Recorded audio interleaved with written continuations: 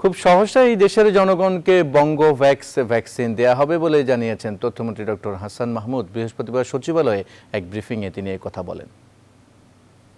জন্য ধন্যবাদ জানাই বঙ্গভ্যাক্স এটি একটি সিঙ্গেল ডোজ ভ্যাকসিন হবে, অর্থাৎ দ্বিতীয়বার নেওয়ার প্রয়োজনীয়তা থাকবে না।